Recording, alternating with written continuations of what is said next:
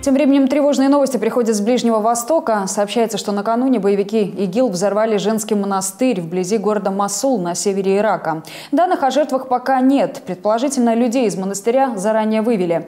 Надо отметить, что нынешний акт вандализма со стороны экстремистов по отношению к архитектурным памятникам далеко не первый. От рук боевиков летом этого года пал древний сирийский город Пальмира. Люди со всего мира съезжались туда, чтобы полюбоваться его храмами и амфитеатрами. Сегодня город лежит в руинах. Боевики также устроили жестокую казнь куратору городского музея после того, как он отказался сообщить, где были укрыты спасенные артефакты из Пальмиры. Халид Аль-Асад был одним из самых известных сирийских ученых-археологов, и сегодня его сын с гордостью вспоминает преданный поступок отца.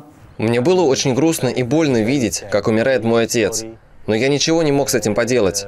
Я горжусь поступком своего отца. Он занимался тем, о чем мечтал. Он посвятил все свое время работе в Пальмире, отказался покинуть ее и отдал этому городу свою жизнь.